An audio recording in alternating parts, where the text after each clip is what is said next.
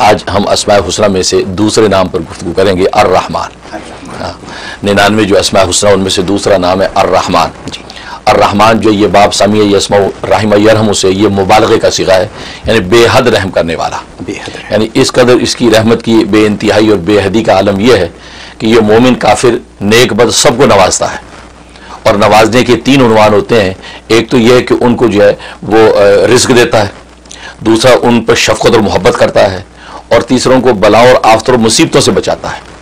और आप जानते हैं कि दुनिया में ये तीन ही उनवान ऐसे हैं कि जो सारी की सारी ज़िंदगी के राहत और आराम का खुलासा है।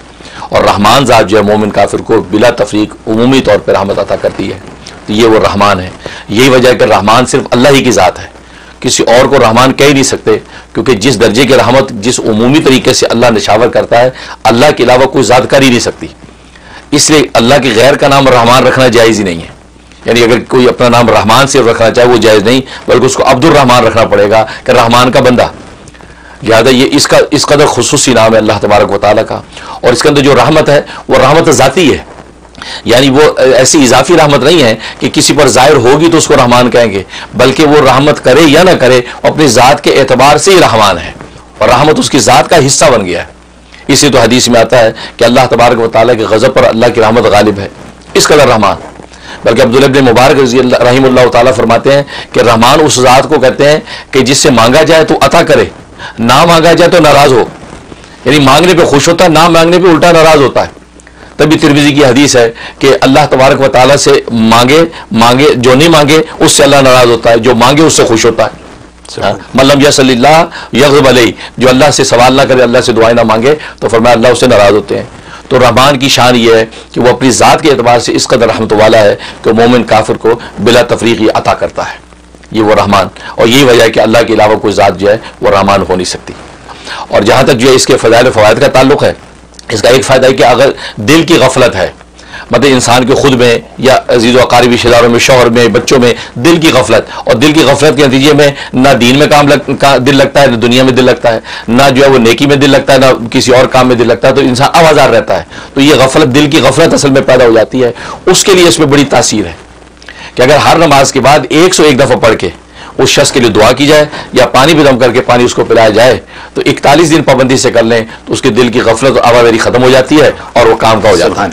ये इसका फ़ायदा। हाँ। और दूसरा फ़ायदा है कि किसी को भूलने का मज़ा निशान है। एक तो होता है ना कभी हावजा चाहिए एक हावजा सही लेकिन बना भूल जाता है।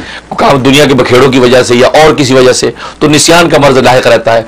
उसके लिए इसमें बड़ी तासीर है कि हर नमाज़ के बाद एक सौ दफ़ा रोज पढ़ के अपने ऊपर दम कर ले और पानी भी दम करके पानी पी ले और सेवेंटी वन डेज़ पाबंदी से कर ले तो किसी भी किस्म का निशान जो होगा वो खरफा हो जाएगा खत्म हो जाएगा। ये इसमें तासीर। और तीसरा इसका फ़ायदा ये कि बाज़ दफ़ा इंसान के दुनियावी मामला दुरुस्त नहीं होते, कारोबार है, तजारत है, मुलाजमत है, कहीं ना कहीं अटकन आ जाती है। दीन नहीं, दुनियावी मामले। दुनियावी मामलों में रुकावटें आती है उसकी चलता नहीं काम। उसके लिए इसमें बड़ी तासीर है कि ये हर नमाज़ के बाद एक सौ पच्चीस मरतबा, या रहमानो या रहमानो या रहमानो का विरद करें। और उसके बाद दुआ कर ले, अव्वला की ग्यारह मरतबा दुरुशीफ तो दुनिया के कोई मामले कभी रुकेंगे नहीं, इंशाल्लाह जो चाहेगा पूरा हो जाएगा। ये इसमें तासीर। और एक फ़ायदा इसका है कि अगर कोई शख्स बद अखलाक है अखलाक अच्छे नहीं है बच्चा है या हस्बैंड है या कोई भी अज़ीज़ और करीब में से कोई है उसके अखलाक अच्छे नहीं उसका अखलाक अच्छा करना चाहते हैं। उसका तरीका है कि उस शख्स का जो नाम है उस नाम के आदाद निकालने कितने बनते हैं। तो इल्मुल के अतबार से उसके नाम निकाल लें। मतलब मेरा नाम मुनीर अहमद है। अब मुनीर के तीन सौ है और जो अहमद के तिरपन है। तो तीन सौ तिरपन बन गया। तो तीन सौ तिरपन दफ़ा रोज़ाना ये इसका व्यर्थ करें। या रहमानू या रहमानू का। करके पानी दम करके या किसी मीठी चीज़ पे दम करके उसको खिला दें। फोर्टी वन डेज़ पाबंदी से कर लें। जैसा भी बद अखलाक होगा अल्लाह तबारक वाल अखलाक हसना से मुनवर कर देंगे ये इसमें ताजीम। और अगर किसी को ये आदाद का इलम नहीं है पता नहीं है तो फिर वो तीन सौ तेरह दफ़ा पढ़ ले। अच्छा हाँ अव्वला से ग्यारह मरतब के साथ तीन सौ तेरह दफ़ा पढ़ के उस बच्चे को पिलाना शुरू कर दे। इंशाल्लाह वैसे ही घर में वालदेन को चाहिए बच्चों को शुरू से पिलाते रहे। तो शुरू से अच्छे अखलाक पर इंशाल्लाह उनकी उठान होगी और मुआशरे के बेहतरीन इंसान बनेंगे। ये फ़ायदा और एक फ़ायदा बड़ा ज़बरदस्त है कि बुखार और आजकल ये कोरोना वायरस के बारे से बुखार चढ़ता है। जी। और बुखार ये मेन अलामत है।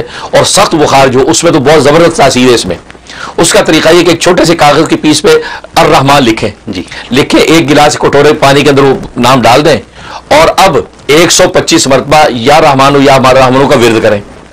अव्वल आखिर ग्यारह मरतबा दुरुशिफ के साथ उस पानी पे फूंक दें। अब इतनी देर में वो पानी वो नाम भी डिजॉल्व हो जाएगा। वो कागज़ निकाल दें वो जो पानी है वो बुखार वाले को पिला दें कैसा भी बुखार होगा तीन दिन में टूट जाता है। अल्लाह और आजकल कोरोना वायरस के हवाले से ज़बरदस्त फ़ायदेमंद चीज़ है। ये उसका फ़ायदा है। और एक ये है कि बस औकत इंसान चाहता है कि यार ज़िंदगी में अच्छी चीज़ें नज़र आए कोई बुरी चीज़ नज़र आए घर में आओ अच्छा माहौल नज़र आए ऑफ़िस जाओ खूबसूरत माहौल रहे कोई ऐसी बदमजगी ना नज़र आए कभी। उसको चाहिए हर वक्त यार हम लोग का विरत रखे। कभी कोई अमर मकरू उसके सामने नहीं आएगा। हर वक्त यार रहमान हो जब भी याद आए इसका भी रखे। तो किसी जगह भी जाए कभी ऐसी कोई चीज़ देखने को नहीं मिलेगी या सुनने को मिलेगी जिससे उसको अजियत और तकलीफ़ हो। इंशाल्लाह खुशी और राहत की खबरें उसको मिलेंगी और इंशाल्लाह इससे खुशबाज ज़िंदगी गुजारेंगे। ये इसके फवायद हज़रत आप ख्वाब में भी बताएँ फिर मैं सवाल करूँगा। हाँ, जी जी। ख्वाब के हवाले से ख्वाब के हवाले से तो यह है कि रहमान जो है अगर जो सूरत रहमान के हवाले से और रहमान का लफज को सुन लिया तो उसका मतलब कि अल्लाह तबारक वाली इसको दीन दुनिया की दोनों तरह की रहमत अता करेंगे। दीन दुनिया की रहमत अता होगी और इसका मतलब दीन दुनिया के हवाले से कोई रुकावट ममाने हैं, वो सारी रुकावट ममाने इसके दूर हो जाएँगे। बहुत बहुत हज़रत आपने तकरीबन सात बातें बताई ऐसी जिससे कि इंसान की ज़िंदगी संवर सकती है। ठीक है? आपने ये भी बता दिया कि अगर दिल में गफलत हो तो उसको कैसे साफ़ करें? अगर कारोबार में रुकावट हो तो उसको कैसे बेहतर करें? और अगर फ़र्ज़ करें कि शौहर या बीवी बद अखलाक हो तो उनको कैसे बेहतर करें? ठीक है ना? अच्छा इस तरीके से अगर मैं यूँ कहूँ कि फ़र्ज़ करें कि एक सौ पच्चीस दफ़ा नमाज़ के बाद पढ़ के इन सब चीज़ों के लिए दुआ कर ले आदमी। तो क्या ये जायज़ है? बिल्कुल सही। कर मतलब सारी दुआएँ मान ले कि दिल भी मेरा साफ़ रहे हम्म, हम्म। मेरे बच्चों का दिल साफ़ रहे इस्लाम की तरफ़ रहे मेरे कारोबार में तरक्की रहे और मुझे रोज़ाना अच्छा रोज़ाना अच्छा दिन देखने के लिए तो विरद जारी रखे। बिल्कुल ठीक है? वरना बाकी चीज़ों के लिए नमाज़ में पढ़ के 125 दफ़ा करके ये काम कर ले तो ज़िंदगी बिल्कुल आसान हो जाएगी। शॉर्टकट हो गया और बुखार भी ठीक हो गया जो अगर बीमार है तो वो भी ठीक हो गया। तो तो यानी अगर हम ये काम रोज़ाना कर लिया करें हम्म, अल्लाह के भी नज़दीक रहें और दुनिया में भी खुश रहें। यही बात है ना? जी खुलासा यही। खुलासा। बहुत खूब। अच्छा ये बातें जो जो आप लेके आते हैं और यही बातें जो कि आम कहीं किताबों में नहीं मिलती हैं कहीं और जगहों पे बहुत हैं फेसबुक वगैरह पे देखने में लेकिन कहीं ऐसी चीज़ें नहीं मिलती। यही यही जो मुझसे किसी ने पूछा कि ये मुफ्ती मुनीर अहमद अखुन साहब कौन है? यानी आपको जानते पूछते उन्होंने पूछा ये कौन है? मतलब उनका कहने का मकसद ये था कि ये जो ऐसे बयान लाते हैं या ऐसी बातें कर जाते हैं ये कौन इंसान है? तो तो ये ये ये तजस्स है लोगों का। भारत बहुत खूब बहुत शुक्रिया।